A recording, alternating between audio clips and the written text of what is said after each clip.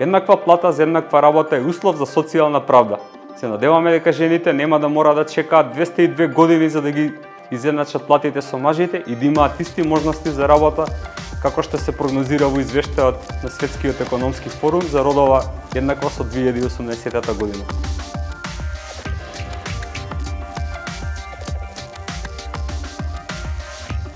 По годишниот извештај за минатата година, најголем број мислења кои ги дала Комисијата за спречување и заштита на дискриминацијата се однесуваат на областа на работата и работните односи, а полово базираната дискриминација на работното место се чини како да е верен придружник во текот на целиот работен век на се поголем број на жени.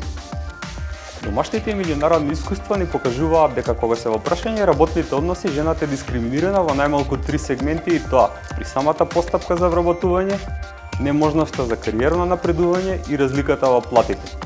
Во ситуациите во кои некој се однесува полошо кон одредена личност само заради тоа која е таа личност или заради одредени карактеристики кои таа личност ги поседува, велиме дека постои дискриминација.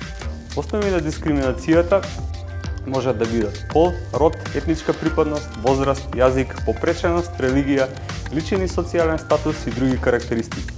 Директна дискриминација постои кога личност со одредени карактеристики е третирана полошо од друга личност во слична ситуација, а индиректна дискриминација кога навиду неутрални правила, критериуми или практики ставаат некого во неповолна положба во однос на другите. Дискриминација во однос на полот се разлики кои експлицитно или имплицитно се прават на штета на едниот или другиот пол. Иако во поголем број случаи, а посебно к индиректната дискриминација, овие разлики се на штета на женскиот пол, Заштитата од дискриминација се применува подеднакво на двата пола. Дискриминацијата заснована на полови разлики исто така ја вклучува и дискриминацијата на основа граѓанскиот статус, брачната состојба, посебно во врска со врските спрема зависните членови на семејството, бременоста и постпородилниот период. Тие разлики не се дискриминаторски сами по себе, а такви стануваат дури во случај да се наметнуваат како барање и услов само за лицето од еден, а не и другиот пол. Разликите кои се прават на основа бременост и породилно отсутство се дискриминаторски затоа што тие, по дефиниција, ги погодуваат само жените. Се чини како дискриминацијата да почнува уште во самите огласи за вработување. Ако се разгледа актуелната понуда на пазарот на труд во приватните компании, ќе се забележи дека помеѓу нив има многу дискриминирачки огласи кои промовираат дискриминација на повеќе основи. Во нив се бараат женски или машки лица за одредени работни места лица на одредена возраст или поставуваат услови и во однос на полот и на возраста на кандидатите. Како пример ќе посочиме еден оглас за кој Комисијата за заштита од дискриминацијата во мај 2018 година донесе мислење со кој утврди директна повеќе кратна дискриминација, односно дискриминација по повеќе од еден основ. Се работеше злоглас за вработување во кој се бараше, цитирам, женска особа на возраст од 30 до 45 години за работа во кујна, сервирање појадок на шведска маса. Комисијата, постапувајќи по представка во конкретниот случај, утврди директна повеќекратна дискриминација, бидејќи со ваквиот поглас се невозможува пристап до работното место на мажите, што е направена директна дискриминација врз основа на пол.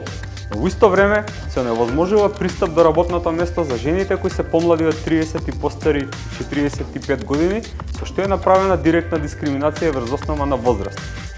Понатаму дискриминацијата продолжува и во текот на интервјуата за работа.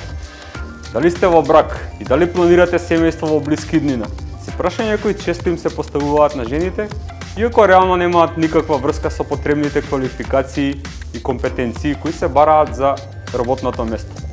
Овде станува збор за дискриминација врз основа на пол и личен статус, бременост, раѓање и родителство.